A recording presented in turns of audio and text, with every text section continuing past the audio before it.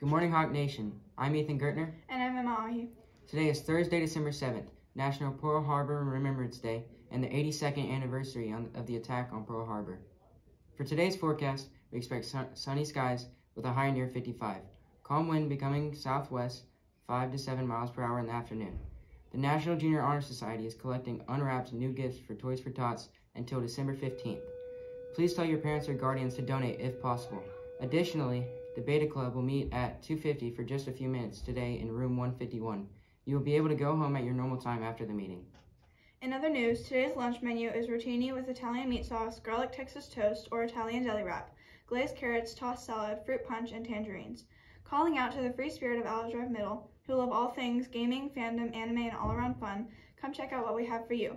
The Alice Drive Science Fiction Fantasy Federation will be having an interesting meeting on Friday, December 8th from 3.15 to 4.45 in room 200, Miss J. Span's classroom. Please wait for the announcement before coming. Lastly, tomorrow, December 8th, we celebrate Toasty Toes. Wear your Christmas, wear your crazy Christmas socks. That concludes today's Hawk News Bulletin. Signing off, this has been Ethan Gertner and Emma Ahi from all of us at the Hawk Bulletin. Always remember to soar.